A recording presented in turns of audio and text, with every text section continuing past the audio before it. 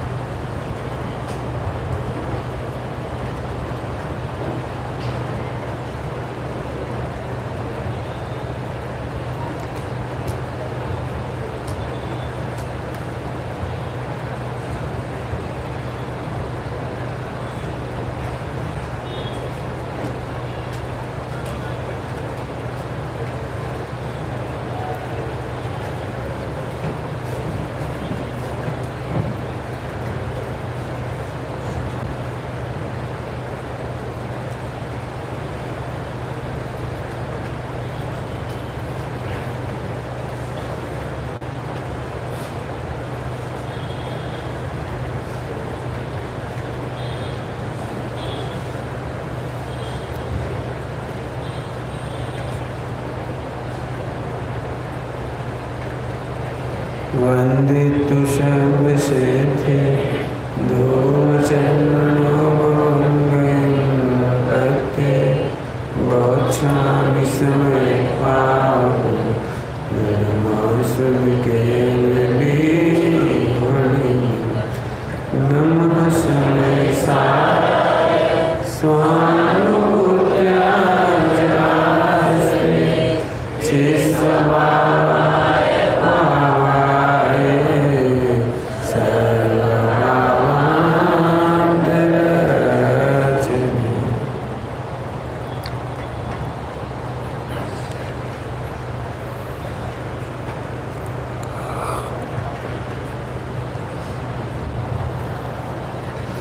समय सार जी परमाणु विराजमान है। आज उत्तम ब्रह्मचर्य का दिन भी है और सम्यक ज्ञान का दिन भी है। कल सम्यक चारित का दिन होगा और परसों उत्तम क्षमा। इसका मतलब कल अपन नहीं मिलेंगे तो कल की उत्तम क्षमा, यानी क्या सम्यक चारित्र का प्रकरण और फिर परसों उत्तम क्षमा। उसकी थोड़ी चर्चा भी अपन करेंगे। मुझे केवल थोड़ा सा और थोड़ा समय देंगे उत्तम क्षमा के लिए।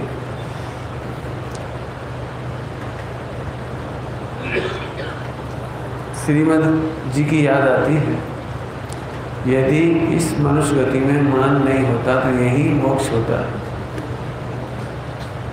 क्या बोले मैंने? यदि मनुष्य गति में मान नहीं होता तो यही मोक्ष होता। आयुष इधर जाए। आगे सड़क जाओ कुछ लोग इधर आ जाओ। पास में बेटे आ जाओ इधर आ जाओ।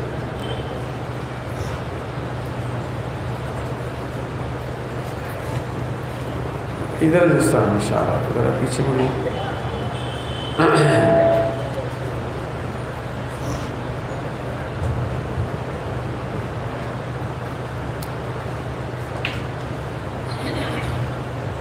बोलो भैया, मान कसा है? मिटाने तैयार हो?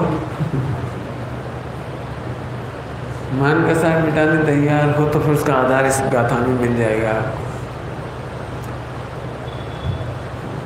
आपको स्वरूप समझ में आएगा तो हँसी आएगी काय का मान? अपने को आत्मा जानोगे तो मान मिटेगा। एक बताओ, मैं करोड़पति हूँ। ये बड़ी बात है कि मैं भगवान हूँ, ये बड़ी बात है। बोलो, मैं कितना सुंदर हूँ। रूप ये प्रतिक्षण गल रहा है। ये सुंदरता नष्ट हो रही है। एक बात सफ़ेद होने वाली है। ये रूप बिगड़ने वाला है, वृद्धावस्था आने वाली है। और ये देह जलेगी तो ये देह राख में खाक हो जाएगी। काय का मान है? सोचो तो जरा, और सुनो, तुम अनादि अनंत भगवान हो। अनादि अनंत भगवान। जब तुलना तो करो मान का साई की जगह कहाँ है? बोलो, अपने को भगवान देखना अच्छा लगता है, और व्यवहार से कहीं तो भगवान बनाना अच्छा लगता है, या अपने भगवान तत्व का तिरस्कार करना अच्छा लगता है। बोलो भाई, भगवान बनना अच्छा लगता है, या अपना भगवान बनने का तिरस्कार करना अच्छा लगता है? सही बात बताएँ, जब भगवान तत्व का अनुभव करोगे, जैसा कि इन गाथाओं में कह रहे हैं, अनुभव करोगे तो तुम्हें जो आज ईगो हो रहा है ना ईगो वो आपको अपना तिरस्कार लगेगा। बस तभी वो मिट जाएगा। सुनो, ओहो स्वामी जी की याद आ जाती है। यदि मैंने किसी को पर्याय दृष्टि से देखा हो तो क्षमा करना। क्या क्या मतलब? यदि हमने संकेत तुम्हें लड़का देखा हो तो क्षमा करना। यदि हमने तुम्हें सेठ देखा हो तो क्षमा करना, क्योंकि तुम भगवान हो। सेठ बड़ा कि भगवान बड़ा? अब बोलो, तुमको सेठ कहें, अमीर कहें, छोकरा कहें, दीकरी कहें, इसमें मज़ा है कि भगवान कहें, इसमें मज़ा है? भाई यही बात समझना तो मान का साय ख़त्म हो जाएगी। तो फिर अब क्या करोगे? सुनो अब भगवान वे ही बन सकते हैं जो औरों को भी भगवान देख पाते हैं। सुनो तो भगवान पने को भूल करके जो हमने गलतियाँ की हैं, उसके लिए सॉरी कॉन्सियस होगा अब? सॉरी सॉरी आएगी आपको। बस उसका नाम उत्तम क्षमा है। लेकिन फिर भी थोड़ी सी बात और कहता हूँ, इस पूरे विश्व में चर्चा का तो लंबा टाइम लगेगा। देखो, मैं कोशिश करता हूँ इसमें जितना निकल आएगा। लेकिन एक लाइन तो ऐसे कह देता हूँ कि एक घंटा जिसका व्याख्यान होना चाहिए, उसे एक लाइन में तो कह ही देता हूँ। सुनोगे ध्यान से? बोलो। जब मैं ऐसा कहता हूँ, सुनोगे मैंने फोकस कर रहा हूँ। तीन बार कह दिया, ध्यान से सुनेगी। तो जब भी कभी सुने तो भी इसे फोकस करना, और अभी तो सुन ही रहे हैं आप। तीन लोग, तीन काल में तुम्हें निर्दोष गायक दिखाई दे और सारे विश्व पर्याय निर्दोष दिखाई दे। अपने को भी निर्दोष देखो और सारा विश्व भी निर्दोष है। आप मुझे काम करो, विश्व में क्रोध करने लायक कोई चीज़ मुझे बताओ। सोचो जरा। क्रोध करने लायक कोई चीज़ हो, बताओ आप। कि साहब वो मेरी बेइज्जती करता है। पहले रुक जाओ। ये निर्णय करो कि तुम कौन हो?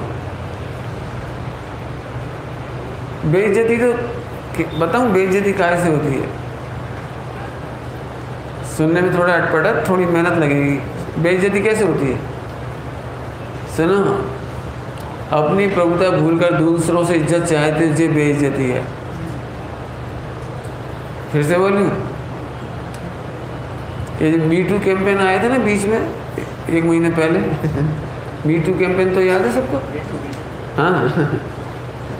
जिसमें पूरी फ़िल्म की हीरोइनों ने और दुनिया की बहुत सारी, हर छः सेकंड में एक महिला ने शिकायत की थी कि मेरे साथ कोई अश्लील व्यवहार हुआ है। किसी हीरो ने, किसी प्रोड्यूसर ने, किसी डायरेक्टर ने मेरे साथ गलत हरकत की है। ऐसा बताया उसने बहुत, हर छः सेकंड में एक महिला। तो मुझे तो उसमें एक बात कहना है। एक सच्ची घटना हुई।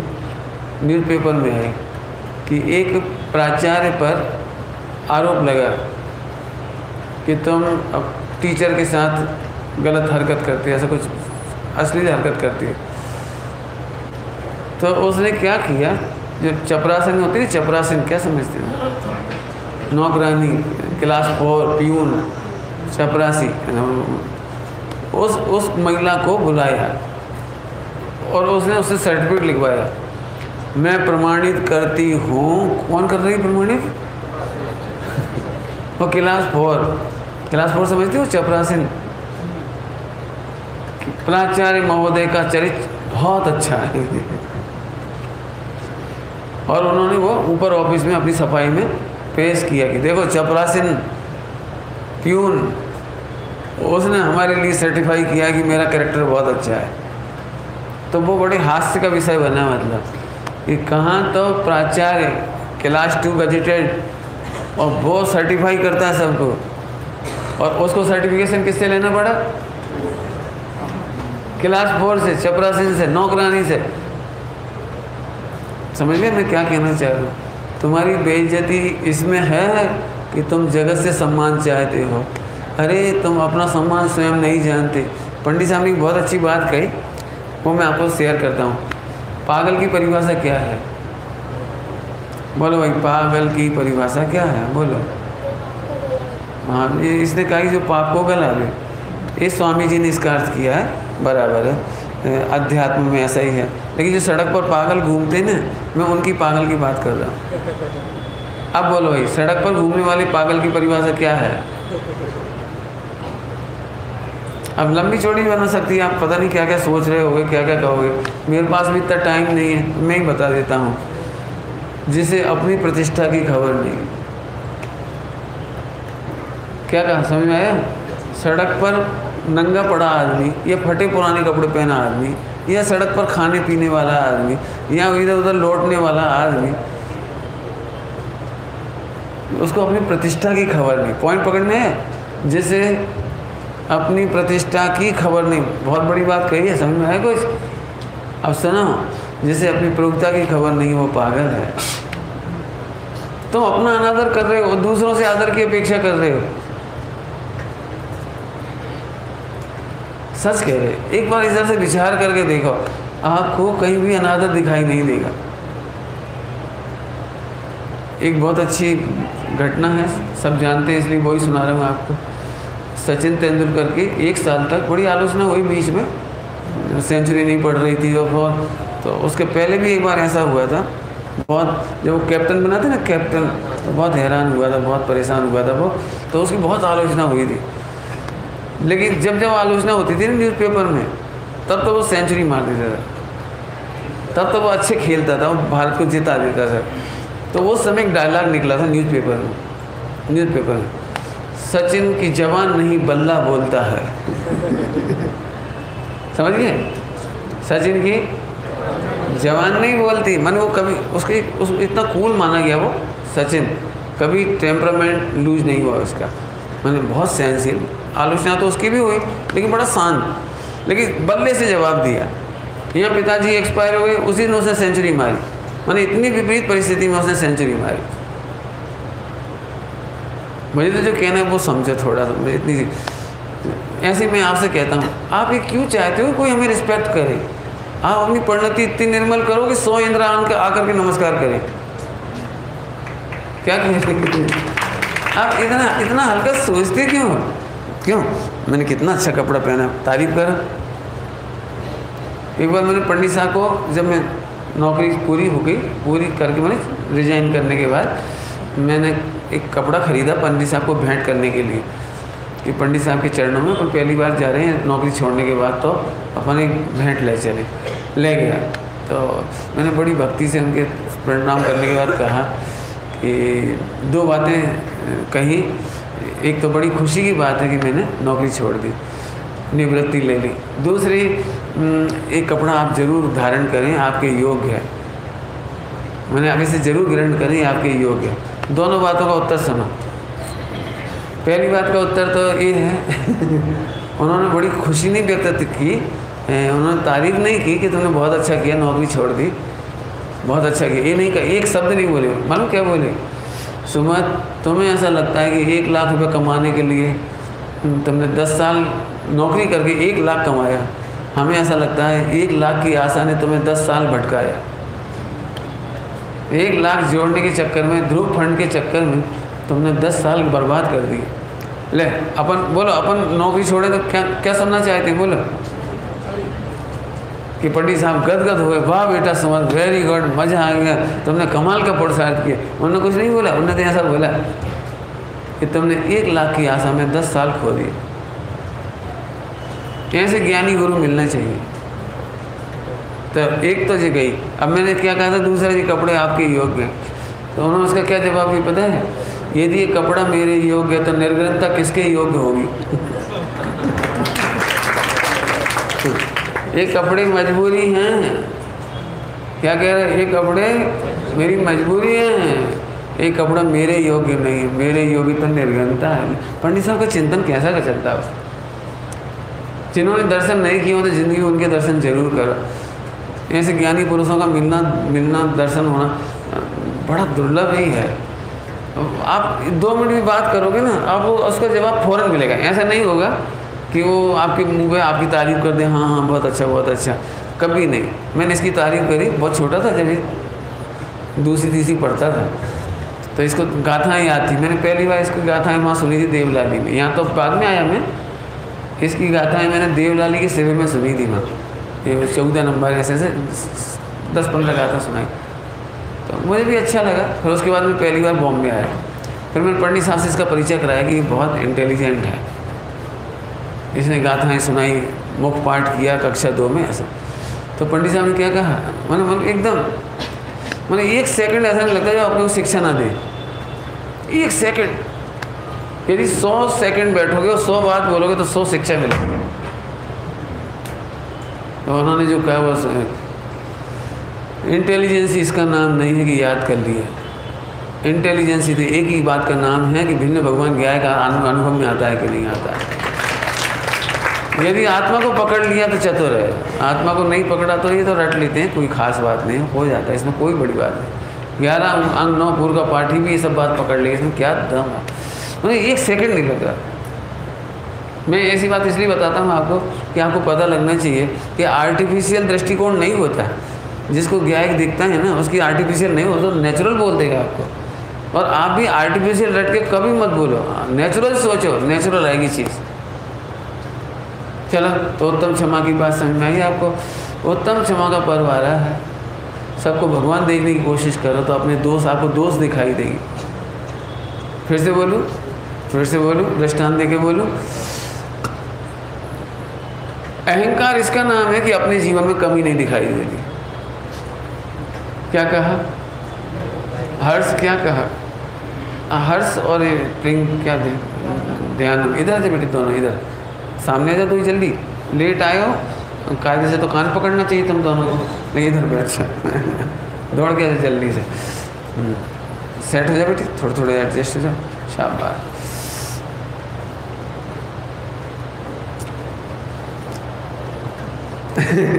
तो सुनना ध्यान से। क्या क्या बोलो? अहंकार किसका नाम है? अहंकार किसका नाम है? अपने में कमी दिखाई नहीं देना, ये अहंकार है। और अपनी प्रभुता में पूर्णता देखना, ये सम्यक दर्शन पर्याय में कमी नहीं देखना, ये अहंकार है। और स्वभाव में प्रभुता नहीं देखना, ये मिथ्यात्व है।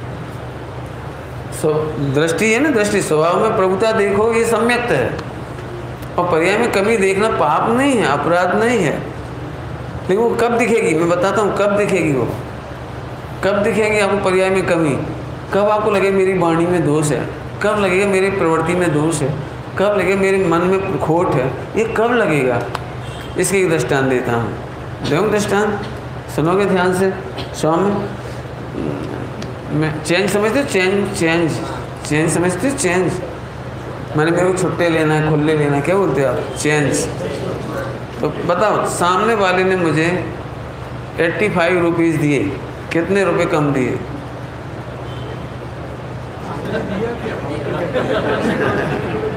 सामने वाले ने मुझे एट्टी फाइव रुपीज़ दिए।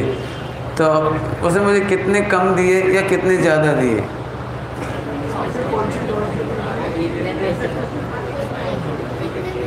बोलो, जल्दी बोलो।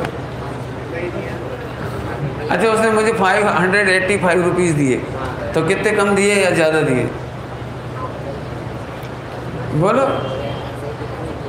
देखो, आगे नहीं समझ मैंने हमें कमी तब तक नहीं मालूम पड़ेगी जब तक हमें पूर्णता की खबर ना हो। पूर्णता की खबर नहीं है। हमने 500 के लिए हो तो तो 85 ज़्यादा दिए। और 1000 की चेंज ली हो तो तो उसने कम दिए। चाहे वो 85 में लगा लो 100 की चेंज मांगी होगी तो तो कम दिए और 50 की चेंज मांगी हो तो तो ज़्यादा दे दिए। इसका मतलब हमें कमी और वृद्धि का ज्ञान तब होता है जब हमारे पास पूर्णांक होता है। सुनो, अनादि अनंत ज्ञाय की पूर्णांक है। जब ज्ञायक अनादि अनंत परमेश्वर को देखते हैं तो पर्याय की कमी की खबर पड़ जाती है। हाँ अभी ऐसी प्रभुता नहीं है। अभी ऐसी वितरकता नहीं है। अभी ऐसा केवल ज्ञान नहीं है। अरे, अभी ऐसा ऐसा समझ में आ गया ना? मैंने कमी कब दिखाई देगी? अभी अभी थोड़ी देर के ज्ञाय हटा दो आप। आपको अपनी प्रभुता की खबर नहीं है, परमेश्वर पने की खबर नहीं है, ध्रुवता की खबर नहीं है।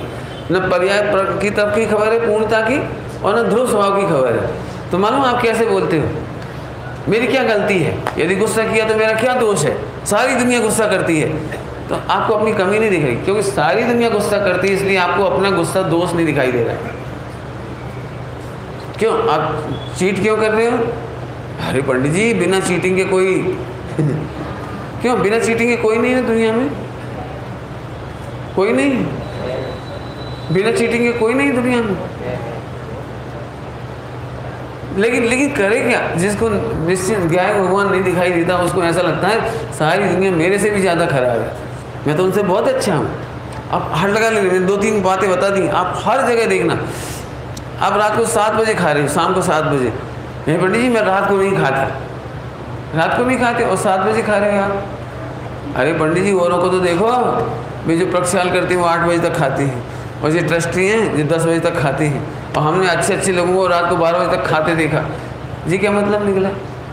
सुनो, यदि देखना हो, देखना ही हो तो पहले उनको देखो जो नहीं खाते। और फिर यदि यहाँ देखना हो तो उस गाय को देखो जो कभी नहीं खाता। और सुनो, अब उसकी इक्विलेंट पर्याय कब आएगी? इक्विलेंट पर्याय कब आएगी? वो मैं कभी खाता ही नहीं हूँ, वो दिन कब आएगा? जब दिन में खाने का भी भाव नहीं आएगा। अब दो समझ में आए कुछ दोष फिर से सुन लेना, अहंकार इसी का नाम है कि हमें अपनी कमियों दिखाई देती नहीं है। तो अब सुनो, जैसे ध्रुव स्वभाव का अनुभव करोगे, उत्तम क्षमा का भाव आ जाएगा। अब आप में अहंकार नहीं बचेगा। आपको खुद लगेगा कि मेरे में कमियाँ हैं। चलूँ, आगे चलूँ। ये चर्चा तो अपनी उत्तम क्षमा और थोड़ा उसके प्रकरण में अपन ने ली है बात। कहने के लिए तो बहुत है, मैं पूरी बात नहीं कह पाऊँगा। लेकिन जो बात आप पहले मैं उत्तम क्षमा के दिन कह चुका हूँ, अथवा उत्तम ब्रह्मचर्य के दिन, वो क्या उत्तम क्षमा में समझ गए? एक तो दो बार आता है उत्तम क्षमा। पहले दिन क्षमा मार मारदा वार जाओ, पहले दिन और एक अंतिम दिन। इतना ज़रूर कहेंगे, ध्यान रखना, परसों उत्तम क्षमा का दिन है, मैं नहीं रहूँगा, इसलिए याद दिला रही क्षमा किससे मांगनी है आपको? बोलो भाई, किससे मांगनी है? व्यवहार की भाषा, किससे मांगनी है? अब मैं बोल देता हूँ, मैं ही बताता हूँ, मिलान कर लेना। बहुत सारे उत्तर आ सकते हैं किससे क्षमा मांगना। नंबर एक, क्षमा की फॉर्मेलिटी नहीं करना। फॉर्मेलिटी नहीं इनफॉर्मल नेचुरली सोचो, इसमें हमारा लाभ है। बहुत बड़ी बात कह रहा हूँ, यदि समय होता तो एक घंटा कहता कि क्षमा मांगने में हमारा लाभ है। सुनो, क्षमा मांगे बिना विशुद्धि नहीं होती और विशुद्धि के बिना सम्यक्त नहीं होता। विशुद्धि के बिना आत्मा के गुणों की वृद्धि नहीं होती। हमें अपना दोष दोष नहीं दिखाई देता। बल्कि ऐसा और लगता है, किसी को कहाँ पता लगा मैंने पुड़िया खाई? किसी को कहाँ पता लगा मैंने सिगरेट पी? सब कुछ छिपा दिया। देखो मैंने चला दिया, देखो, मैं बहुत इंटेलिजेंट हूँ। किसी को पता ही नहीं लगा, न मम्मी को, न पापा को, किसी को खबर ही नहीं पड़ी। चलो बेटे, आप निगोद की तैयारी कर रहे हो। निगोद की तैयारी कर रहे हो ये कह रहे हैं हम दोषों को छिपाना, ये मिटने की तैयारी है और दोषों को मिटाना भगवान बनने की तैयारी है। क्या बोला? दोषों को छिपाना दोषों को छिपाना मतलब ऐसे समझो, कोई ने जहर खा लिया और फिर मम्मी पापा से झूठ बोल दिया। नहीं नहीं मैंने नहीं खाया डॉक्टर ने पूछा, आपने क्या खाया था जो इतनी घबराहट हो रही है? कुछ नहीं, दाल, रोटी। तो ठीक है, फिर एक टिकिया लो, लेटो आराम से। मरेगा और क्या होगा? नहीं नहीं। भगवान तत्व अमृत तत्व है। भगवान आत्मा अमृत तत्व है। और इस पर्याय में उसका वेदन, अमृत का वेदन है। लेकिन मैंने मिथ्यात का जहर पिया हो पर मैं स्वबुद्धि का जहर पिया हो, कर्ता बुद्धि से अपने को देखा हो या दूसरों को देखा हो, ये जहर है। हो तो दोस्त की क्षमा मांगने के लिए तैयार है। इनफॉर्मल करना, मेरा मतलब ज़रूरत पड़ जाए तो जो गलती करता हूँ, अपने आप को लगता है ना कि मैंने अपनी पत्नी को बहुत टॉर्च किया है तो आप निश्चिंत होकर कहिए, पत्नी से सॉरी पत्नी हो तो पति को बोल सकती है। माँ बाप भी बच्चों से कह सकते हैं। क्योंकि सबसे ज़्यादा टॉर्चिंग बच्चे सहते हैं। मम्मी पापा इतने उसमें रहते हैं, आजकल स्ट्रेस में, कि उन्हें इतना भी समय नहीं मिलता कि बच्चा भी एक प्राणी है, बच्चा भी एक भगवान है, बच्चे का भी कोई सेंसल सेंसेशन है। मैंने उसको समझते ही नहीं है। बे माँ बाप तो बड़े ख़राब होते हैं, जो अपने सपनों का भार, अपने विजन का भार उसके सिर पर झोंक देते हैं। नहीं तो ये बन के दिखाना पड़ेगा। मैं एक बात बताओ क्यों बन के दिखाए भगवान बनेगा ना वो? क्या बन के दिखा दे? अरे, एक बात बताऊँ, मेरे से पूछा, मेरी सोच थोड़ी पता नहीं है तो सही, लेकिन अब आपको अलग लगेगी। एक पिता अपने पुत्र को क्या पढ़ता है इतना महत्वपूर्ण नहीं है। और कौन सा जॉब करता है, ये महत्वपूर्ण नहीं है। लेकिन बच्चे के जीवन में यदि ईमानदारी है, न्याय है, नैतिकता है, परिश्रम लेबर लेबोरियस है वो। करुणा है उसके जीवन में। सुना, ज़िंदगी भूखा नहीं मरेगा। कहीं चला जाए, भूखा नहीं मरेगा। और सुनो, यदि तुम्हारा बच्चा चीट करता है, रिश्वतखोरी करता है, करुणा से रहित है सुनो, बहुत जल्दी जेल जाएगा। चाहे वो डॉक्टर बन जाए, चाहे वो इंजीनियर बन जाए, चाहे सीए बन जाए, कहीं चला जाए, वो वो जेल जाएगा। बोलो, अब डिग्री की ज़्यादा कीमत है या मॉरल वैल्यूज़ की ज़्यादा कीमत है? अब यहाँ मैं बैठा हूँ, जिस मन से वहाँ से तो मैं ये कहूँगा, सुनो, हर माता पिता का एक ही स्वप्न होना चाहिए, मेरे बेटे को सम्यक दर्शन हो। बोलो, तीर्थंकर की माँ तीर्थंकर की माँ त्रसलाई होगी। तीर्थंकर की माँ त्रसलाई होगी। अपन नहीं हो सकते। मैंने अपने ग्रस्त जीवन वाले लेख में लिखा है, ग्रस्त जीवन वाला एक लेख है। आप सबको फॉरवर्ड कर देना, जिन्हें नहीं मिला तो मांग लेना। हाँ मैंने दे दिया इधर। सब एक दूसरे को दे, पढ़ो आप, ग्रस्त जीवन पढ़ो। किसी सगाई हो गई हो, शादी हो रही तो उससे पहले पढ़ लो। शादी के बाद पढ़ लो। मैंने पढ़ो सब लोग। उसमें मैंने लिखा है हम इतने हल्के स्तर से शरीर के बारे में नहीं सोचें तो कैसे नहीं सोचें, वो तो मैं बाद में कहूँगा। लेकिन अभी, ये शरीर तीर्थंकरों के माता पिता बनने के लिए है। इस शरीर से तीर्थंकर का जन्म होता है। इस शरीर से आरिका जन्मती है। इस इस शरीर से विद्वान जन्मते हैं, सम्यक दृष्टि जन्मते हैं अणुव्रति जन्मते हैं, आचार्य जन्मते हैं। इस शरीर से बेस्याएँ नहीं जन्मती। सड़क छाप लड़के नहीं जन्मते। ऐसे वैसे सड़क छाप जीवों के पैदा करने के लिए नहीं है ये शरीर। इतनी ऊँची सोच से सोचो। हल्के काम नहीं होंगे अब आपसे। जब तक ऊँची सोच नहीं होगी तो हल्के काम होंगे। और एक बात कहता हूँ, बुरी तो लगेगी आपको मुझे। मैं हमेशा कहता हूँ, लेकिन ज़्यादा लंबी व्याख्या तो नहीं करूँगा, लेकिन समझ में भी नहीं आएगी बिना व्याख्या के। फिर भी कह रहा हूँ, पूर्व मैंने बहुत विस्तार से कहा और मैंने लिखा है, वो गृहस्थ जीवन वाले लेख में लिखा है। लोग ये सोचते हैं, घर में बच्चे नहीं होंगे तो हम निवृत्ति से खूब आराधना करेंगे, खूब ध्यान करेंगे, खूब ज्ञान करेंगे। बिल्कुल धोखा है। बिल्कुल धोखा है। आप बच्चों के प्रति जो कर्तव्य कर्तव्य है कर्तव्य नहीं कह रहा हूँ, कर्तव्य है, उससे पलायन करते हो, इससे कोई सम्यक दर्शन नहीं हो जाएगा माता पिता की सेवा से वंचित रह जाते हो और अकेले में सोचते हो, बड़ी निराकुल है, निर्विकल्प है। निराकुल और निर्विकल्प इसका नाम नहीं है। से ना सामने गोलियाँ चलती हों और तुम निर्विकल्प हो, इसका नाम सम्यक दर्शन है। तुम 24 फोर आवर व्यस्त हो 24 घंटे व्यस्त हो। बहुत तरह की तकलीफें आती हैं जीवन में स्ट्रगल है उस समय भी तुम्हें भेद विज्ञान और सम्यक दर्शन है, आत्मानुभूति हो सकती है, कोई कठिन काम नहीं है। माने मेरा मतलब है कि पलायन बात का नाम धर्म नहीं है। घर में आप जो मैं कहना चाह रहा हूँ, समझो। आज जैन समाज में संख्या घटती जा रही है। वर्ल्ड वाइड सबकी पॉपुलेशन बढ़ रही होगी। लेकिन एक जैनों की संख्या घट रही है। जैनों की एक तरफ़ तो संख्या घट रही है, जन्म से।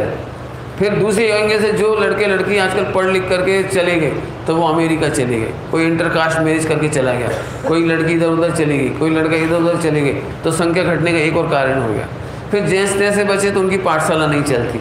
फिर उनमें से भी कोई बचे तो वो स्वाध्याय नहीं होती। मैंने कुल मिला करके जैन तो घटते ही चले जा रहा है। अब जैनों की कल्चर की ड्रेस खत्म हो गई। जैनों के कल्चर का खान पान खत्म हो गया।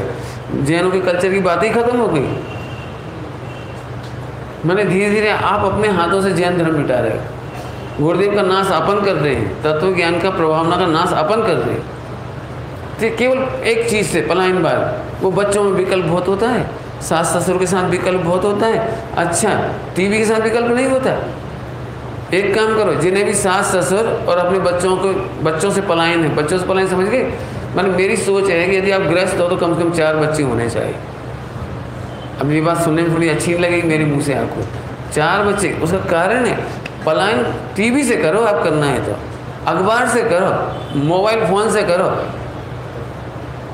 वहाँ तो टाइम ख़राब होता है, कितनी महिलाएँ ऐसी होंगी आज की तारीख भगवान जाने, पता नहीं, होंगी वैसे, नहीं होंगी, ऐसा नहीं है। नहीं तो पंचम काल खराब हो जाता पूरी तरह से। कुछ अच्छी होंगी जो मोबाइल से बची होंगी। बाकी का तो चार घंटे बचे तो मोबाइल, दो घंटे बचे तो मोबाइल, रात को तो मोबाइल, दिन को तो मोबाइल। इतने बुरी दृश्य लगते हैं। मैंने, ईमानदारी से कहूँ, मेरे को आने में कोई एक्साइटमेंट नहीं होता ये बम्बई वगैरह में। ये बिल्डिंग देखने में मुझे कोई उत्साह नहीं होता, सड़कों पर देखने कोई उत्साह नहीं होता। इतना बुरा लगता है, मैं बता भी नहीं सकता हूँ, आपको इतना बुरा लगता है। जो देख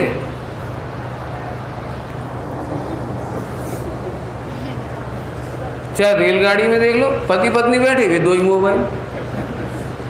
अरे वैसे तो टाइम मिलता नहीं एक दूसरे को देखने का। कभी ढंग से बात ही चीत कर, बच्चे ने आप कभी बस स्टॉप पे जाके देखो। 99 परसेंट छोटा सा बच्चा। और पापा ऐसे बैठे चड्डा में। या मोबाइल में लगे, बस खत्म। ये कितना बुरा दृश्य रहता। आप अपने फूल के साथ, अपने गुलाब के साथ मुस्कुरा नहीं पा रहे, बातचीत नहीं कर पा रहे उसके गले में हाथ नहीं डाल पा रहे। बच्चे को अपना तो कब मिलेगा? सुन लो, बहुत बड़ी बात कह रहा हूँ। आपके स्ट्रेस का मूल कारण है कि बच्चे, मम्मी, पापा दोनों आपस में डाइल्यूट ही नहीं है। आप बच्ची को नहीं जानते, बच्ची आपको नहीं जानती। और इसीलिए कोई बच्ची कदम उठाती है कि मम्मी, पापा से पता भी नहीं लगता मम्मी, पापा को किससे अफेयर कर लेती है कहाँ चली जाती और बच्चा कब छोड़ के चल देता तुम्हें तुम्हारी इतनी सी कदर नहीं घर में इसका मतलब ये है कि हमने जो डाइल्यूशन होना चाहिए था, वो नहीं दिया। समझना अच्छी तरह से, आप अपने बच्चों को टाइम नहीं देते तो बहुत बड़ा अन्याय करते हो। सब फिर दर्शन कब करेंगे? तो कहते तो दिया, पहले टीवी छोड़ो मोबाइल छोड़ दे। बाकी बची तो रेसिपी छोड़ दे। क्या आता रहता ना छोड़ दे, कोई दिक्कत नहीं, फालतू टाइम नहीं खराब कर। अच्छी स्वाध्याय करो, बढ़िया। और बच्चों में डायल्यूट हो। बच्चों में समझ गए? बच्चे नहीं समझो भाभी सिद्ध हैं आपके घर में। कौन है? आपके घर में कौन है? कौन है? भाभी सिद्धों का परिवार है। बच्चे क्यों देख रहे हैं आप? आफत क्यों देख रहे हो? समझ में आया? ये उत्तम क्षमा का स्वरूप समझ में आया? कुछ नहीं आया। और नहीं तो फिर स्ट्रेस के लिए तैयार रहो। हर व्यक्ति स्ट्रेस में है, हर व्यक्ति स्ट्रेस पैसे की कमी नहीं है, ध्यान रखना, अभी पैसे की कमी नहीं किसी के पास। अब स्ट्रेस बहुत है। एक बच्चा सीधे वो बात बात नहीं करता पिताजी से। सुनो, अब अब ये स्ट्रेस होगा। एक बच्ची सीधे सीधे मम्मी, पापा से बात नहीं करती, ये स्ट्रेस है। पत्नी, पति को गिनती नहीं है, ये स्ट्रेस है। हम पैसों के लिए पैदा नहीं हुए और पेट भरने के लिए पैदा नहीं हुए। यदि लोग व्यवहार में भी कहें तो अपनी प्रतिष्ठा। आनंद के लिए हुए, बाहर की बात और अंदर की बात करो तो अपने भगवान तत्व को अनुभव करने के लिए हुए। मैंने इसलिए बात कही, पलायन बात का नाम सम्यक दर्शन नहीं है। जैनियों की संख्या घट रही है, ये आप जरा जा कर के देखो। डाटाज में देख लो और नहीं तो फिर आप आलोचना करते रहोगे। मुझे तो ये विराग जी की बातें अच्छी लगती हैं। मैंने एक शास्त्री, इतने शास्त्री में एक शास्त्री ऐसा निकला, जो बच्चों को पहचानने की कोशिश कर रहा है, और बच्चों को इसमें लगा रहा है। अभी जी मैंने देखा, मैंने इसलिए सबसे पहले, ये चैतन्य भास्कर मैंने अपन बच्चों की आलोचना करते हैं, छुट्टियों में बच्चे वो खेलते रहते हैं क्या कहलाता है वीडियो गेम और बच्चे हैरान करते हैं, फिर ऐसा करते हैं। ये तीस रुपये का है और छः सौ इनाम रखे इसने, पूरे इंडिया वाइड पाँच छः भाषाओं में आप कन्नड़ में लिखो, मराठी में लिखो, हिंदी में लिखो, गुजराती में लिखो, इंग्लिश में लिखो, मैंने छः भाषाएँ दे रखी इसमें, आप भरो इसको। आप मतलब बच्चों को मदद करो। तो इतनी क्रिएटिविटी है इसके अंदर, इतनी क्रिएटिविटी है कि बच्चा एक महीना निकाल देगा इसमें। अब बच्चे को अपन काम ही नहीं दे पाते। देखना पढ़ के आप, इसमें कितनी क्रिएटिविटी है बच्चे के लिए। बच्चे को फुर्सत ही नहीं मिलेगी इधर उधर झांकने की। चार बच्चे होंगे तो लेके बैठ रहे होंगे, एक दूसरे को समझाएँगे, एक दूसरे को पढ़ाएँगे, एक दूसरे दूसरे पिक्चर बनाएँगे इसमें। अब हमें इन चीज़ों का चिंता ही नहीं होती। तो क्रिएटिविटी में लगाओ बच्चों को। देख लेना ये मैंने बोल दिया आपको, बाद में तीस एक प्रतियाँ आई हैं इसकी। ज़रूरत पड़े तो और मंगाओ। हमें तो बस चले तो हज़ारों में भेज दो इसको। मेरा मतलब है जब तक आप रचनात्मक गतिविधि नहीं दोगे बच्चों को आपके बच्चे आपको स्ट्रेस का कारण बनेंगे। ये मैंने उत्तम क्षमा का इतना विस्तृत स्वरूप बता दिया निश्चय से भी और व्यवहार से भी।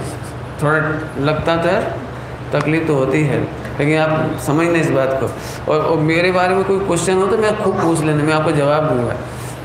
सुनो मिथ्या दृष्टि चार बच्चों के भार उठाने से डरता है और सम्यक दृष्टि तीन लोग का भार उठाता है। आप क्या समझते हो?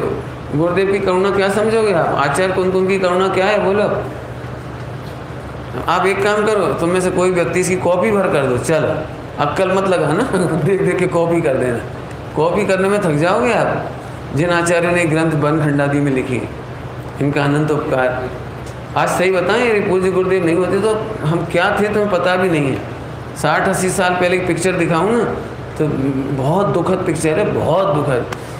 आज भी आप एक काम करो, जहाँ स्वाध्याय नहीं होती उन मंदिरों में जाओ। जहाँ समय सारजी नहीं खुलता उन मंदिरों में जाके देखो 99 परसेंट मंदिरों में इस समय क्या हो रहा होगा। जाके देखिए आप। जाओ सत्तर साल पहले तो इससे भी बुरी हालत थी।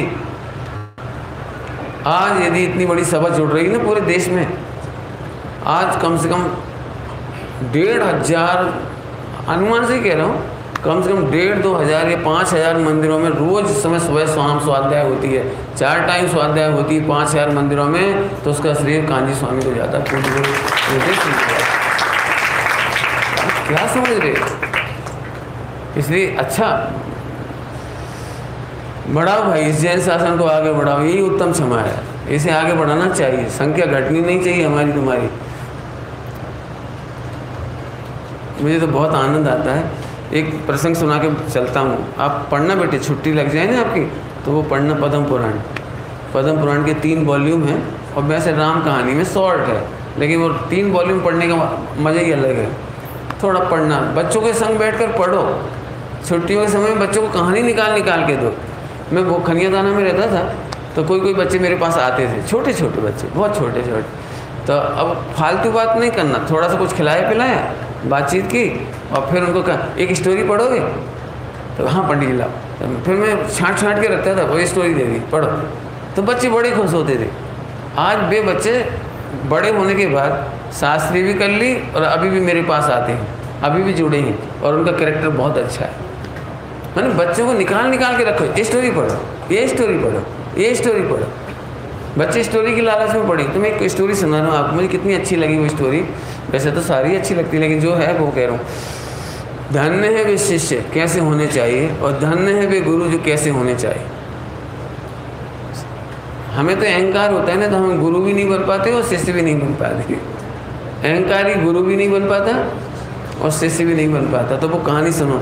जिस दिन रावण की मृत्यु हुई, वो अलग प्रसंग है। आप पढ़ना। रावण की मृत्यु हुई, उस दिन का प्रसंग है उसमें। पचपन या छप्पन हज़ार, छप्पन फिफ्टी सिक्स थाउज़ेंड मुनिराज और सारे के सारे चारण रिद्धिधारी।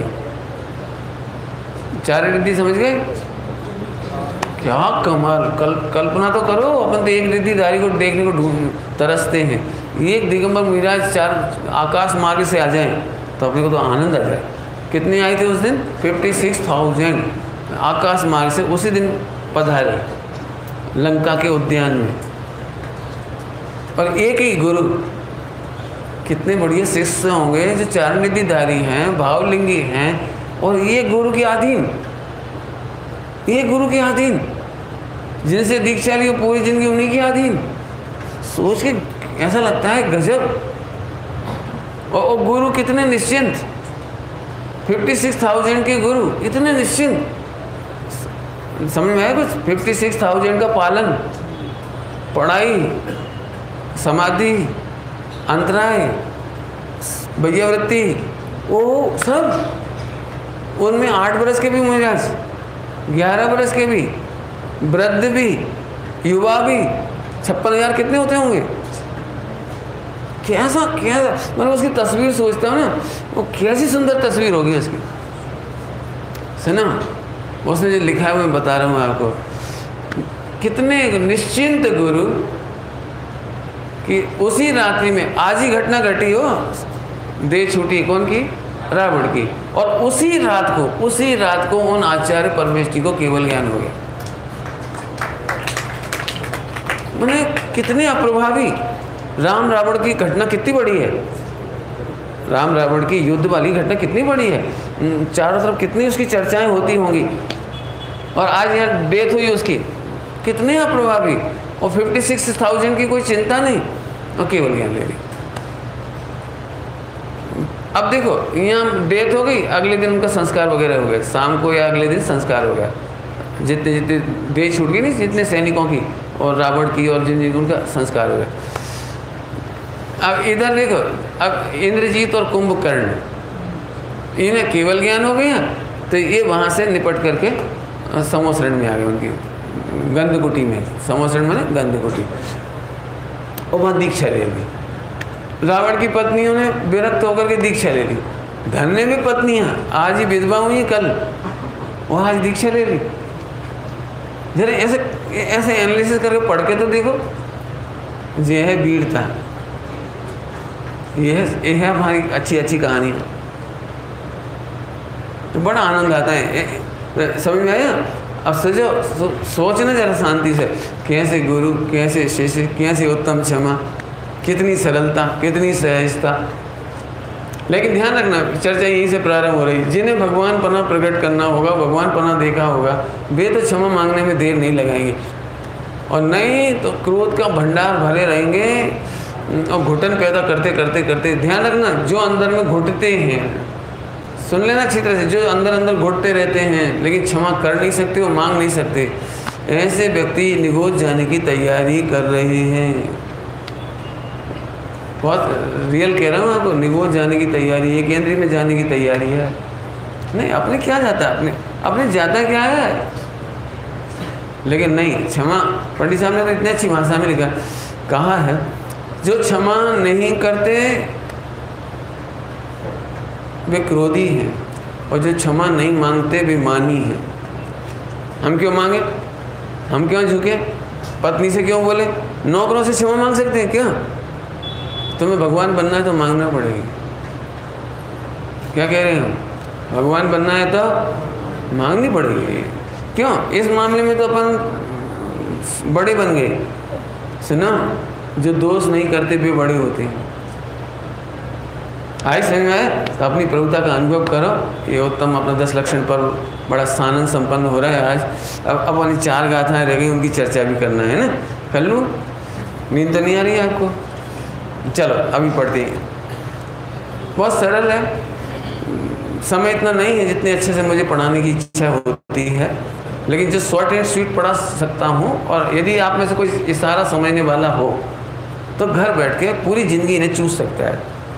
ये सारा मैं कर रहा हूँ बता रहा हूँ मतलब ऐसी कोई चीज़ नहीं जो छोड़ रहा हूँ। और ये मैं जानता हूँ, वह मैं खुद ही कह देता हूँ, मेरे प्रवचन की कमियाँ देख देख करके दुखी मत होना, उस कमी को तुम दूर कर लेना। मैंने इस मामले में उपयोग मत लगाना, देखो सुमत ने ये नहीं निकाला, देखो गुरुदेव को ये लाइन नहीं बताई, देखो गुरुदेव ने ये नहीं बताया, इनने ये नहीं बताया, उनने ये नहीं बताया। इस चक्कर में माता फोड़ी नहीं करना। मैंने तो अपने आप को दुख मत देना। मैं बहुत साफ़ कहता हूँ कि इसमें बहुत कुछ है और मैंने सब कुछ नहीं कहा है। इस एक लाइन में मैंने उत्तम क्षमा मांग ली। मैंने भी क्षमा मांग ली। गुरुदेव श्री से भी और आचार्य अमृतचंद स्वामी से भी और जयसेन स्वामी से भी। यदि मैं पूरा डिटेल देखूँगा तो तो बहुत समय लगे मैंने कहा भी था, मुझे साल भर भी लगेगा तो कम पड़ेगा। मुझे एक एक शब्द पर रुकने की इच्छा होती है। ये तो मजबूरी है कि मैंने आपको दस दिन में इसका थोड़ा सारांश, एयरटेल ग्लांस पढ़ाया है। इसलिए कोई दुखी मत होना। बाकी आलोचना ज़रूर करना और कोई भी अच्छी बात हो तो मुझे पोस्ट कर देना, बता देना। मैं बहुत बड़ी खुशी से, क्योंकि मेरी ज़िंदगी का विकास ऐसा ही हुआ है। मेरे से गलतियाँ होती हैं और विद्वान जन मेरे को समझाते हैं। तो करेक्शन कर लेते हैं, उसमें अपने बहुत अच्छा लगता है। समझ में आ गई आपको? तो आप भी इसको अच्छे से पढ़ना। आइए, अब उनतीस प्रकार के भाव। उनतीस प्रकार के भाव को मैं फटाफट बोलता हूँ। ध्यान से सुनना, उनतीस प्रकार के भाव मतलब? चाहे वो शरीर हो चाहे वाणी हो, चाहे मन के विचार हो, चाहे कर्म का उदय हो, चाहे पुण्य का उदय हो, चाहे तीव्र कसाय हो, मैंने बंद। कुछ भी हो, जो जो तुम जो तुम्हारी फीलिंग में आ रहा है, वो सब। क्या बोला? उनतीस मतलब? जो कुछ तुम्हारी फीलिंग में आ रहा है, वो सब। उसको यहाँ पर कहना है कि तू आत्मा मत मान उनको। वो आत्मा नहीं है, इतनी बात तो सही। तू तेरी सत्ता उनमें नहीं है, उनके कारण नहीं है और उनके कारण तुम नहीं हो। जल्दी कह गए क्रोध के कारण तुम्हारी सत्ता नहीं है। क्रोध में तुम्हारी सत्ता नहीं है। अंतर समझ में आया संकेत? क्रोध में सत्ता नहीं है और क्रोध के कारण तुम्हारी सत्ता नहीं है। क्यों? आत्मा अनाधिकाल से क्रोध के बल पर रह रहा है? सिद्धालय में क्रोध के बल पर रहेगा। सोचो, अभी क्रोध के बल पर रह रहे हैं। तो क्रोध होना अलग बात है। और तुमने क्या मान लिया, क्रोध के बल पर मैं रह रहा हूँ? या क्रोध में मेरी सत्ता है तो दोनों बात झूठी है। शरीर, क्यों? अभी काय के बल पर रह रही हो। शरीर के बल पर? आत्मा शरीर के बल पर रह रहा है। नहीं समझ में आया तो हाथ खड़ा करना, थोड़ी मजबूरी तो उतना नहीं बोलूँगा। लेकिन क्यों? शरीर में रह रहे हो अभी? आत्मा शरीर में रहता है। शरीर के बल पर रहता है। शरीर के कारण रहता है। कैसी गजब बात है? हाँ गजब हो गया। शरीर है तो कैसे है? उसका उत्तर देते देखिए। एक केंद्रियादिक प्रकृति है जो नाम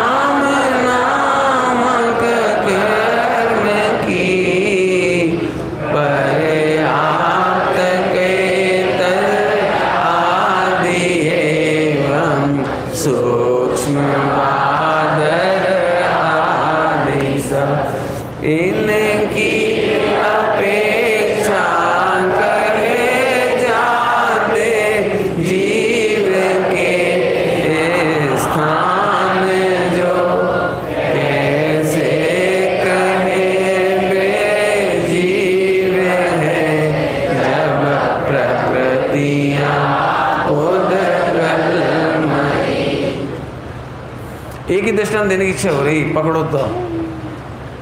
बहुत शॉर्ट एंड स्वीट और ऐसा बढ़िया दृष्टांत। दे दो सब मुझे देखना है? बच्चे लोग इधर देखो उसको मत देखो मुझे देखो। हाँ, चिंटी कितनी इंद्रिय जीव है? तीन इंद्रिय। चिंटी कितने इंद्रिय जीव है? तीन। तो अपन ने शक्कर की चिंटी बनाई शक्कर की चिंटी समझ में? शक्कर का मॉडल शक्कर का मॉडल अब मैं पूछ रहा हूँ, जी कितनी इंद्रिय जीव है? अरे, अभी आपने क्या कहा था? चिंटी? तीन इंद्रिय जीव है। तो ये शक्कर बनी है ना? शक्कर की चिंटी। ये कितनी इंद्रिय जीव है? नहीं पकड़ में आया कुछ? पकड़ में आया कुछ? अब चल, मक्खी कितने इंद्रिय जीव है? चार इंद्रिय जीव। तो अपने शक्कर की एक मक्खी बनाई। तो ये कितने इंद्रिय जीव है? नहीं कन्फर्म अब अपन ने शक्कर का आदमी बनाया, देवता बनाए। शक्कर का घोड़ा बनाया। कितने इंद्रिय जीव? पाँच इंद्रिय। पाँच इंद्रिय। तो ये जो शक्कर का घोड़ा है, शक्कर का घोड़ा, ये ये कितने इंद्रिय? जल्दी बोलो। पक्का? समझ गए? इतना ही कहना है। ये जो अपन, एक इंद्री दो इंद्री तीन इंद्री चार इंद्री पाँच इंद्री दीकरा, दीकरी बोलो। चार गति के जीव में हाथी, घोड़ा, ये जो चार गति के जीव है ना, ये मॉडल तो है, मैंने क्या बोला था, शक्कर का मॉडल बनाया था ना तो मॉडल तो कहलाता है चिंटी का, मक्खी का, घोड़ा का। लेकिन उसको देख के तो बोलो, ये कितने इंद्रिय जीव है। पॉइंट पकड़ में आ रहा है ऐसे ही आत्मा के मॉडल बनाए गए प्रकृतियों के द्वारा। किसने बनाए कर्म प्रकृति समझिए, कर्म प्रकृति, कर्म नाम कर्म की तेरानवे प्रकृति है। वो तेरानवे प्रकृति ने अलग अलग मॉडल बनाए लेकिन उस जीव को देख के तो बोलो, वो कितने इंद्रिय है? समझ में कि नहीं आया? समझ में कौन को आया? आयुष, समझ में आया? समझ में आया बेटे? नहीं समझ आए पंकज। फिर से, चलो, हमने इसलिए पहले ही कहा था, आप ध्यान से दृष्टांत सुनना तो आपको पकड़ में आएगी बात। फिर से, नहीं समझ में आया? फिर से सुनो, फिर से। शक्कर का घोड़ा बनाया। तो घोड़ा कितने इंद्रिय जीव होता है? पाँच इंद्रिय। घोड़ा कितने इंद्रिय होता है? पाँच इंद्रिय। अभी ये शक्कर का घोड़ा है। जी कितने इंद्रिय? तो इसमें जो घोड़ा जैसा आकार दिख रहा है ना, घोड़ा जैसा आकार, इसकी कोई वैल्यू है? नहीं है। ध्यान रखना, ये घोड़ा काय का बना है? शक्कर का। इसमें आकार की कोई वैल्यू नहीं है। पकड़ो जरा। वैल्यू काय की है? शक्कर की, कि घोड़े की। कितने इंद्रिय जीव है शक्कर का घोड़ा? मैं बार बार कह रहा हूँ उसको बार बार ऐसे ही मुझे आपसे कहना है। ऐसे ही ये जो मिट्टी का आकार दिखाई दे रहा है ना शरीर का, इस आकार की वजह से आत्मा एक इंद्री दो इंद्री तीन इंद्री चार इंद्री पाँच इंद्री कहा जाता है? लेकिन आत्मा एक इंद्री जीव, दो इंद्री जीव, तीन इंद्री चार इंद्री पाँच इंद्री जीव नहीं है। आत्मा तो अतिद्रीय है। तुम इंद्रिय हो कि अतिद्रीय हो। चलो, मैं फिर से पूछता हूँ। बच्चे देंगे कि बड़े लोग जवाब देंगे? बोलो। दोनों दे देंगे। तो पहले बच्चों को नंबर लगता है।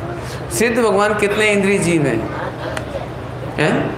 सिद्ध भगवान एक इंद्री से गए बीते हैं, दो इंद्री से गए बीते हैं, तीन इंद्री चार इंद्री पाँच इंद्री बोलो, कितने इंद्रिय जीव है? सिद्ध भगवान। बोलो, सिद्ध भगवान तो सिद्ध भगवान को एक इंद्री भी नहीं बची।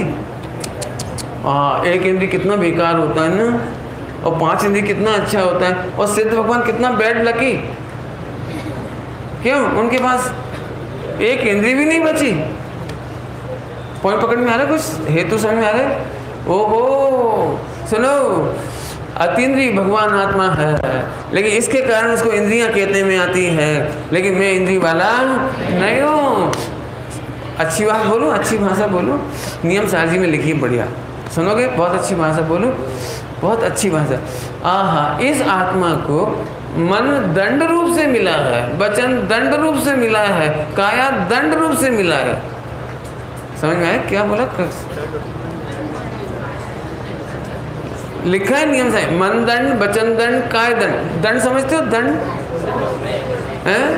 हाँ? पनिशमेंट तुम तो खुश हो रहे हो। हाँ मेरे को पाँच इंद्री मिली, पाँच इंद्री मिली। ढोर, तू ज़्यादा पिटा। सोचो जरा, सोचो। वो मेरा शक्कर का दृष्टान नहीं भूल जाना। घोड़ा कितने इंद्री? वो पाँच इंद्री। और शक्कर का घोड़ा? तब जब हम शक्कर देखते ना, शक्कर तो अतिद्री दिखता है। और घोड़ा देखते हैं तो इंद्री दिखती है। ऐसे ही आत्मा तो आत्मा है आत्मा लड़का है कि लड़की है? बोल दक्ष। आत्मा દીકરા છે કે દીકરી છે હે આત્મા આત્મા જ છે દીકરો નથી हो गया इतने इतने सुनना था अपने और क्या सुनना था अगली बात पकड़ में आई थोड़ी सी तो अब ये कह रहे इनकी अपेक्षा देखो क्या लिखा इनकी अपेक्षा कहे जाते जीव के स्थान जो कैसे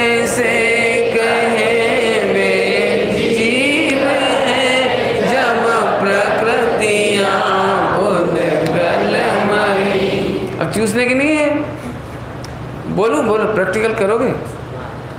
करोगे तो मोक्ष में मिलोगे, सीधी सी बात। नहीं करोगे तो जहाँ जाओ, वहाँ जाओ, हम क्या करें? चलो, घर में जाओ और बच्चे को गोद में लो। लेना तो पड़ता ही है, बच्चे होते उनको गोद में लो। उसको उसको देख के ऐसे वेद विज्ञान करो। ये प्रकृतियों की तरफ़ से इसको लड़का कहते हैं, दीकरा कहते हैं, छोकरा कहते हैं, बच्चा कहते हैं, बालक कहते हैं, मनुष्य कहते हैं। फिर आगे की लाइन पढ़ो। कैसे कहे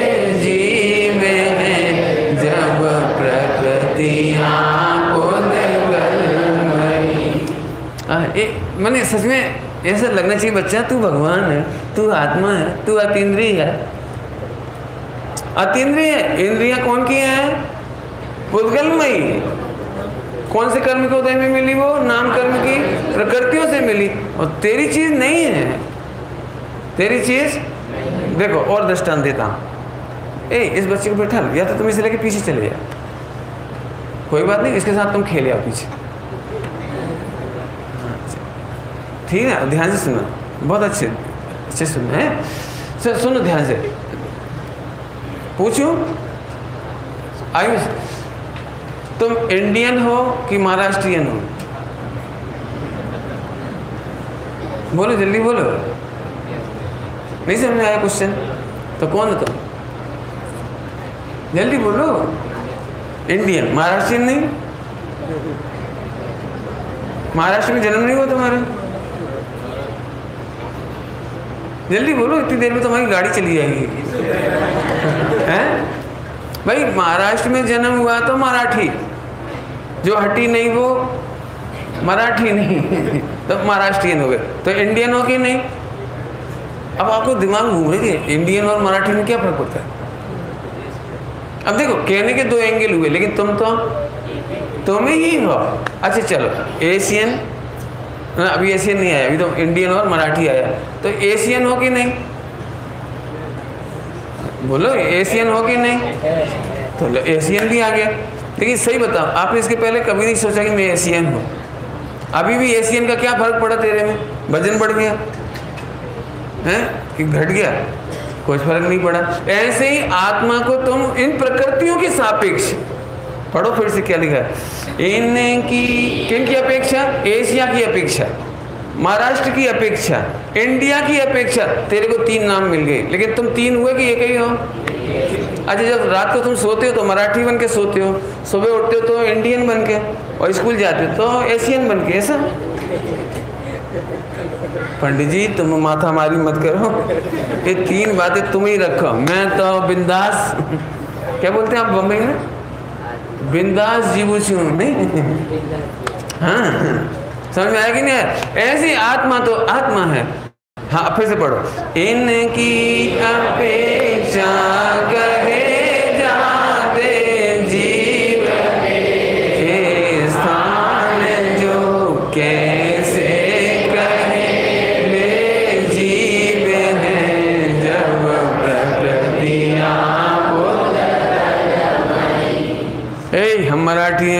हैं आमचा मराठी क्या होती? आमची जो बोलते हैं हाँ जो हाँ मराठी। ए भैया, झगड़ा का? गया तू मराठी नहीं प्रभु, तू तीन लोग का नाथ है। अब झगड़ा खत्म, बस। और नहीं छोटी छोटी बात का झगड़ा छोटी छोटी बात का झगड़ा। मैं नहीं उठा रहा वो बात। अब आगे, अगली गाथा पढ़ो? अब प्रैक्टिकल कितनी है, बोलो। पति अभी घर पहुँचेंगे। झट बोलेंगे, हस नहीं वाइफ मैंने वाइफ तो नहीं बोलते, नाम तो कुछ लेते होंगे। पप्पू की भाई। अब तो पप्पू ही नहीं बचे नहीं पप्पू देगा ही बचे इंडिया में बस। अब तो कुछ और नाम होते ना ऐसे। तो उसकी मम्मी ने, उसके मॉम, मम्मी, ऐसे। तो जो कुछ भी बोले तो बोलो। जब वो बोलता है ना हस्बैंड बच्चे की मम्मी तो बच, मम्मी क्यों कह रहे हैं वो?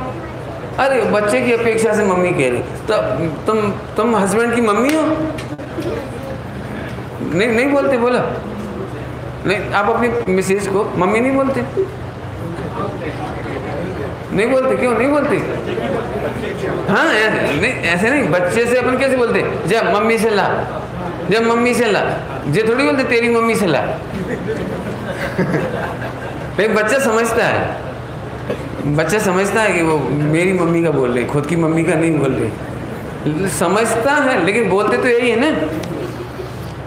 लेकिन वो पर समझ जाते इसकी अपेक्षा से मम्मी कह रहे आपके सामने आपका भांजा है तो आप बोले जा, मामी से ला। तो मामी किसको बोल रहे हो आप? हाँ मिसेज के लिए। लेकिन वो बच्चा भी समझता है, अपन भी समझते ऐसे यहाँ पे कहना है, नाम, कर्म की, तेरानवे प्रकृति की अपेक्षा से कोई कहेगा तो उसे जीव कैसे कहे? बस इतनी दो लाइनों में मज़े करो। आपका गला बहुत है। आपका गला आपका गला कौन का अच्छा है? गायन अच्छा किसका है? गायन कोई का अच्छा है? गला। नहीं, किसी का भी अच्छा नहीं हाँ चल, इसका अच्छा है। अमन का, तेरा भी अच्छा कैसे गाता है तू? लता मंगेशकर जैसा।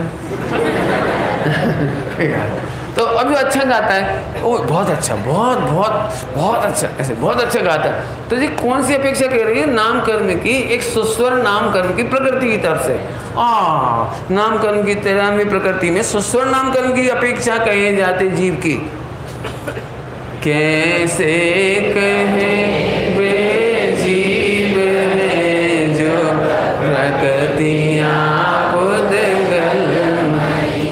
हाँ करोड़पति करोड़पति। हाँ सेठ सेठ सेठ। आओ आओ। तो अंदर एकदम समझ में आ गया। मेरी वजह से नहीं कह रहे, इसकी वजह से कह रहे। मेरी तो बात करोगे प्रैक्टिकल बोलो। तुम बहुत गुस्से हो, बहुत क्रोधी हो, बहुत पापी हो। अच्छा समझ गए तुम पाप की तरफ़ से कह रहे। Okay okay. खत्म। निपट गई गाड़ी। रोए तो बे लड़े तो बे झगड़े तो बे जो प्रकृतियाँ नहीं घटा पाते। अब बोलो, कितनी अच्छी काम की गाथा है। मेरे हिसाब से तो मेरे को अब सही बताऊँ, मेरे ज़्यादा पढ़ने की इच्छा नहीं होती, मुझे रोज़ वर्कशॉप की याद आती इनका वर्कशॉप करने जैसा है प्रैक्टिकल पंडित जी पंडित जी पंडित जी, अरे तो उधर से कह रहे तो हमसे बोलो। पंडित राजेंद्र कुमार जी, एक बहुत अच्छी बात कहते हैं, मुझे बहुत ही अच्छी लगी। मैंने, मेरे को कई बार, पहली बार में वो चीज़ अच्छी लग जाती है। आपको भी ऐसे ही होता है? मेरे को भी ऐसे ही हुआ। आचार्य कौन कौन स्वामी, हम सबको भगवान आत्मा कहकर बुलाते हैं। और हम आचार्य कौन स्वामी को आचार्य कह के बुलाते हैं। नहीं समझ में आया? मैंने धन्य भी आचार्य दे जो हम सबको भगवान कह के बुलाते हैं। और हम उनको क्या कह के बुलाते समझ में आया कुछ? नहीं आया। नहीं समझ में आया। नहीं आया ना समझ में? अरे हम उन्हें भगवान तरीके देख नहीं पाते। हम उन्हें आचार्य की अपेक्षा से देखते हैं। ऐसे तुम हमको आत्मा नहीं देखते। तुम हमें प्रोफेसर की तरफ़ से देखते हो। तुम हमें प्रवचन की अपेक्षा, प्रवचन मन प्रकृतियों की तरफ़ से देखते हो। तुम हमें पैसे की तरफ़ से देखते हो। तुम हमें न जाने कितने एंगल से देखते हो। लेकिन आत्मा को आत्मा नहीं देखते, ये अनादर है। चलो अब तो आगे चलो। समय हो रहा है तेज़ी से। अगली गाथा और देख लीजिए। कलश इसके बाद। पढ़ ली, कलश को भी पढ़ लेते जरा। जिस वस्तु से जो रुक जाओ रुक जाओ इसके दोहा छंद है हरी गीत नहीं है? दोहा जिस वस्तु से जो बने वह हो वही न अन। स्वर्ण म्यान तो स्वर्ण है, असी है उससे अन। इसकी चर्चा तो प्रेम भाव सब जीवों में भी आई है जो म्यान से, तलवार म्यान से भिन्न रहती है। ऐसा दृष्टान है? वही का वही दृष्टान ऐसा कहने में आता है, सोने की म्यान, सोने की तलवार, स्वर्ण तलवार, सोने की तलवार होती है? सोने की तलवार नहीं होती, सोने की तो म्यान होती है। म्यान समझिए जिसमें वो तलवार रखते हैं। लेकिन वो सोने की होती है, वो सुंदर होती है। उसमें रखते हैं लोहे की तलवार। लेकिन वो ऊपर सोने का रहता है ना, ऊपर सोने का तो क्या बोलते हैं? सोने की तलवार। है तो उसमें कहते तो हैं, लेकिन भेद विज्ञान करते हैं। सोने की तलवार बन जाए तो मुश्किल पड़ जाए। तलवार लोहे की होती है। ऐसे ही देह भिन्न है और आत्मा भिन्न है। अब अपन इसमें से सड़सठ हाँ दो ही, बस एक कलश और दो गाथा। फटाफट पूरी करते देखो। वर्णादिक जो भाव है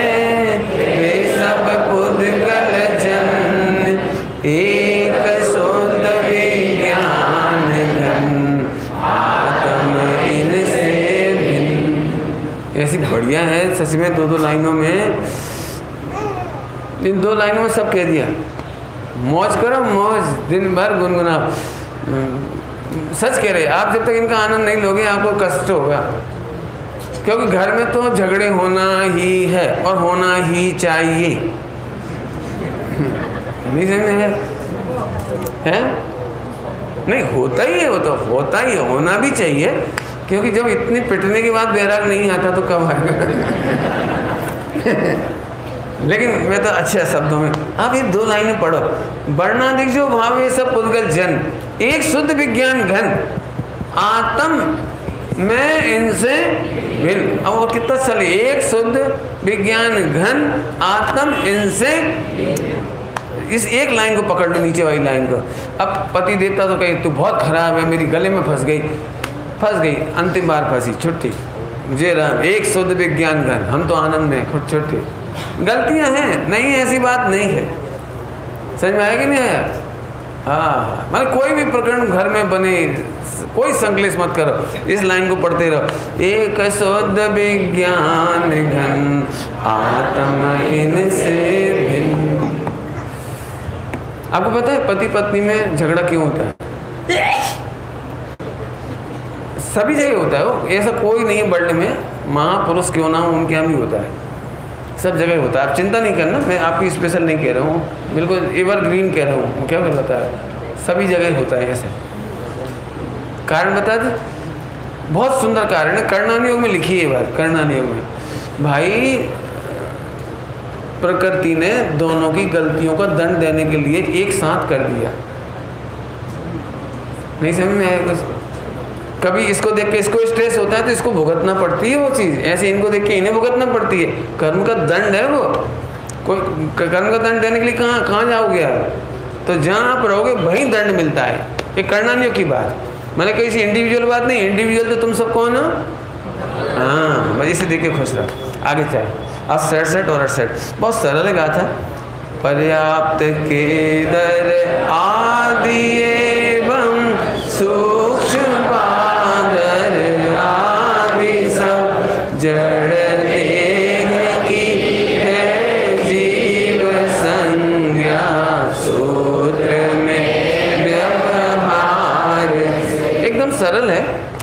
शब्द तो ऐसे हैं कि जो नए बच्चे होंगे, उन्हें एक भी समझ में नहीं आया होगा।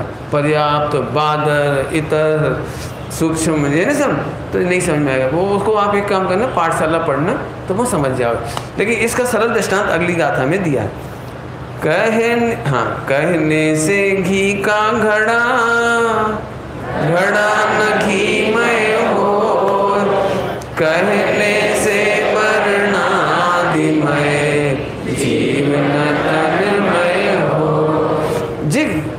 दृष्टांत बड़ा प्यारा है और अपनी जिनवाणी में सदा बाहर है। मैं जहाँ देखो भाई जहाँ देखो भाई घी का घड़ा घी का घड़ा घी का घड़ा तुमने घी का घड़ा देखा है? घी का घड़ा देखा है? अब तो घड़े भी नहीं बचे ना घर में। आपके एक पा, पानी का ही मटका मिले तो मिल जाएगी। माट लोग क्या करते हाँ। बाकी घड़ा तो गायब ही हो गया। घी का तुमने देखा घी का घड़ा नहीं देखा। पहले ज़माने में चीनी मिट्टी का घड़ा होता था मार्केट में। उसमें घी रखते थे। तो होता तो मट्टी का ही था। लेकिन उसमें घी रखते थे ना, घी। इसलिए वो कहलाता था घी का घड़ा। घी का घड़ा होगा तो क्या होगा, बोलो? यदि अपन घी का घड़ा बनाए तो क्या होगा? बता सकते हैं। तो गर्मी के दिन में पिघल के बह जाएगा। तो घी का घड़ा होगा तो कितनी आफत होगी, बोलो? तो आपको पता है पहले घरों में क्या होता था? घी का घड़ा, शक्कर का घड़ा, ऐसे सबके घड़े घड़े होते थे। पहले ज़माने में डब्बे नहीं होते थे स्टील के। तो हम घड़े घड़े होते थे, घी का, अचार का घड़ा। तो आचार्य जी ने अचार का घड़ा नहीं बताया। क्योंकि अचार जैनियों के घर में होता नहीं है, इसलिए अचार का घड़े का दृष्टान नहीं आया। घी का घड़ा होता है, क्योंकि हर घर में घी होता है। तो तुम्हें घी का घड़ा देखा है? बोलो जल्दी बोलो, घी का घड़ा देखा है? घड़े में घी तो देखा होगा, लेकिन बोलते कैसे हैं? घी का घड़ा। ऐसे जे है जीव का घड़ा। तो जीव तो घी लेना होता ना, घी। बेटा, घी लाओ तो घड़ा लेके आ गई। हमने क्या मंगाया था? घी ला। वो क्या लाई? घड़ा। ऐसे हम क्या जीव लाओ तो झट इस घड़े को ले आती है अपन। तो हम बोलते हैं, जीव जीव तो रहता है इसके अंदर। तो हम क्या समझते हैं, इसको इस घड़े को ही समझते हैं। तो बच्चे मुझे यही यही देख देख करके यही समझ गए कि यही है बस। भाई, ये भ्रम निकालना है इसमें। ठीक है? अगला और देखो भाई अड़सठ नंबर का बस हो गया पूरा अपना। मोहन कर्म के उदय से गुण जो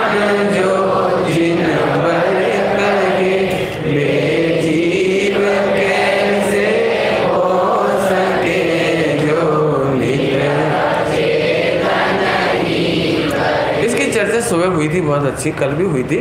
मोहन कर्म के मोहन कर्म माने मोहिनी कर्म और योग के उदय से गुणस्थान आदि बनते हैं। तो लगा लेना। जब जब भी मोह का उदय में कोई क्रोध करे, मान करे, माया करे, लोभ करे, हास्य करे, रति करे, अरति करे, शोक करे, भय करे, जुगुप्सा करे, ये सब नाम है सब उनके। झट एक सेकंड में घटा दो। मोहिनी कर्म के उदय वाले जीव को हम जीव कैसे कहें? बेजीव कैसे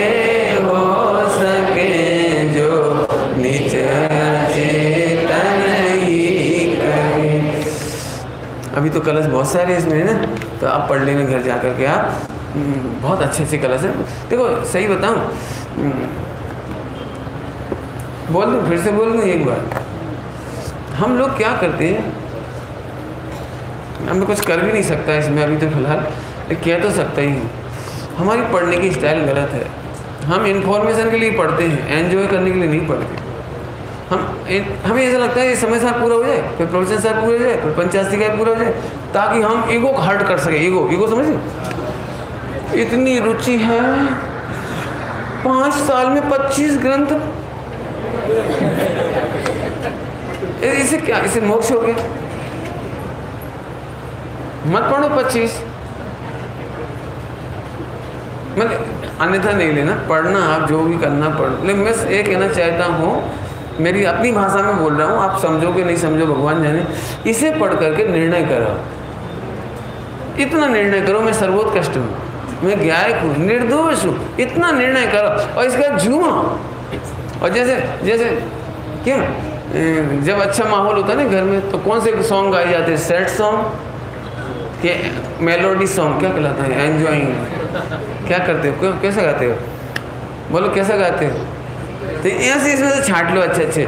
मौज करो, बढ़िया बढ़िया गाओ, बढ़िया बढ़िया गाओ, जो दो लाइन अच्छी लगे, वही वही गाओ। मेरा बस चले ना, पूरा भजन तक ना गाऊं। जो सबसे अच्छी लाइन है, वही वही गाओ बस। क्यों? दृष्टांत ही दे रहा हूँ क्या करूँ? किसी की शादी हो, बड़ी मुश्किल से हो रही हो। बड़ी मुश्किल मतलब इजी गोइंग नहीं हुई। अब पैंतीस साल का लड़का हो गया, बेचारा रोते रोते रोते। अब जब उसकी शादी हुई तो फिर जब उसकी सगाई अच्छी लड़की से हो गई, अब जे भी कह ही रहा हूँ, अच्छी। तो समझो तो अब वो कितना प्रफुल्लित होता है तो वो क्यों, खुशियाँ कैसे मनाता है? वो एक ही डायलॉग घूमता है, मेरी शादी मेरी शादी मेरी शादी। कपड़ा पहनता मेरी शादी। मंदिर जाता है, दोस्त मिलते मेरी शादी। मतलब इतने डायलॉग बार बार बार बार बार बार। ऐसे तो नहीं बोलता सुनो भैया पच्चीस, पैंतीस साल तक तो लड़कियों ने रिजेक्ट किया। पंद्रह साल से धक्के खा रहे थे। फिर एक दिन पिताजी गए, फिर रिश्ता पक्का करे आए, फिर हम गए देखने, फिर लड़की ने हाँ करी, इसलिए अब मेरी शादी है। ढोर इतना बड़ा डायलॉग सुनाता है कोई? क्यों सुनाता है कोई? ये तो मरीज़ लोग सुनाते हैं, मरीज़। फिर ऐसा हुआ, फिर ऐसा हुआ, फिर हम मांग गए फिर मांग गए फिर ऐसा हुआ। फिर अब ठीक है। ऐ तो अब ठीक है, देते ही बोल। पॉइंट समझ आएगी, नहीं आए। मैंने मौज करने की प्रणाली ये है, इनमें जो दो लाइन अच्छी लगती है, उसको गुनगुना। जो गाता अच्छी लगे, उसे गुनगुना। समझ में आया कि नहीं आया? गाऊँ दो लाइन और बंद करता हूँ, है ना? अशोक भाई मेरा इंतज़ार कर रहे होंगे और आप आप सब भी रुकोगे, नहीं तो फिर अच्छा नहीं होगा। सबको रुक करके ये सब काम करना है। पंद्रह मिनट लगेंगे यदि पास सब होंगे तो। और भावेश भाई अकेले होंगे तो सुबह हो जाएगी। मैंने अपन सब मिल करके ये संभालेंगे। तो सुना मैं दो लाइन बहुत मस्त वाली। सुनो भैया स्वयं ही प्रभु हूँ, देखे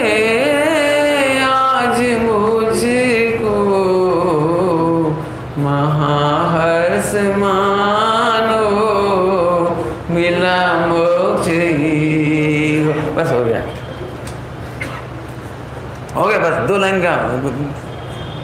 जब भी कोई मिले, हम जा रहे, मोक्ष जा रहे। जिसका समय शिखर जी का टिकट हो जाता है तो क्या करता है? हर दिन भर कितनी बार बोलता है? बोलो। जा रहे जा रहे जा रहे। समय शिखर जी जा रहे। ऐसे, बिल्कुल। क्या कहें? तुम्हारी, तुम्हारा मोक्ष जाने के टिकट पे तुम्हारी साइन चाहिए एनओसी आजकल एनओसी बोलती ना? अपने नरेंद्र मोदी आए ना, नरेंद्र मोदी सिंगल विंडो और आप ही अटेस्ट करो। आप ही सेल्फ अटेस्टेड करके दे दो। ऐसे तुम्हारा ही सेल्फ अटेस्टेशन लगना है। बोलो, तुम सब निर्दोष गया है कहो साइन करो, मोक्ष जाओ आ जाओ। मोक्ष जाओ और तुम्हारा ही साइन लगना है, किसी और का नहीं लगना, तुम्हारा साइन है। अब तुम ही नहीं कर पाओ साइन तो हम क्या करें? खूब विचार करना, स्वाध्याय करना, ओम नमः शिवाय। अब एक एक एक सेकंड मुझे याद आ गई। एक बार और मिल सकती है, सूरज शिविर के बाद भी। अक्टूबर का शिविर है, तीन से नौ अक्टूबर। के के पीपीएस का पाँच साल में लगने वाला शिविर मेगा शिविर मेगा शिविर तीन तारीख से नौ अक्टूबर। सभी लोग उस शिविर में भी ज़रूर ज़रूर पधारो अकेले नहीं, सबको लेकर। सम्य शिखर जी हाँ सम्य शिखर जी का शिविर अपनी उज्जैन वालों का शिविर होता है, सब लोग